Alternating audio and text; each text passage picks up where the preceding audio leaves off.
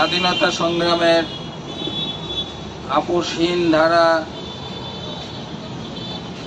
অন্যতম সদস্য সংগ্রামী এবং স্বাধীনতার পর এদেশের মাটিতে সত্যিকারের সাম্যবাদী দল এসইউসিএর কমিউনিস্টের প্রতিষ্ঠাতা সাধারণ সম্পাদক এই যুগের অগ্রণী মার্ক্সবাদী চিন্তানায়ক, আমাদের প্রিয় নেতা কমরেড শিবদাস বোসের জন্ম শতবর্ষ।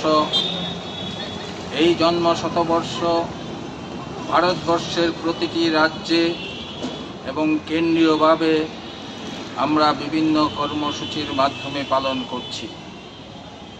ত্রিপুরা রাজ্য আমরা এই কর্মসূচির অঙ্গ হিসাবে আজ এই মহান নেতার বক্তৃতার এবং লেখার কিছু উদ্ধৃতি এবং অনুশীলন সমিতিতে যোগদান থেকে শুরু করে ওনার মৃত্যুর আগ পর্যন্ত যে সমস্ত ছবি আমাদের কাছে সংরক্ষিত আছে, সে সমস্ত ছবি এই প্রদর্শনীর আমরা আয়োজন করছি। এই জন্য আজকে দেশের যে সংকটময় পরিস্থিতি, এই পরিস্থিতি হলো গণতন্ত্রের সর্বাত্মক শোষণের ফলে দেশের নিরানব্বই শতাংশ মানুষ আজ দিশেহারা অর্থনৈতিক রাজনীতি এবং সাংস্কৃতিক সংকটের সামনে পড়েছে।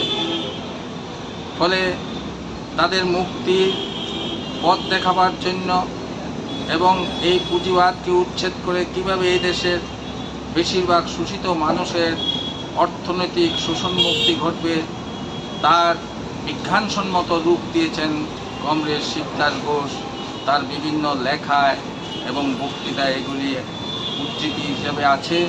আমরা সেই উদ্ধৃতি জনগণের কাছে তুলে ধরার জন্য আজকে এই প্রদর্শনীর আয়োজন করেছি। আপনার পরিচয়টা?